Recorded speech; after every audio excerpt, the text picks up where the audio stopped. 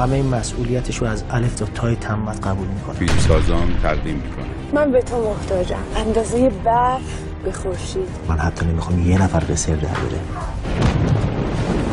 چیزی برات نمی‌ذارم بمونه حکم اعدام واسه اونم خوندن. داره بیگناه اعدام میشه. بیا نظری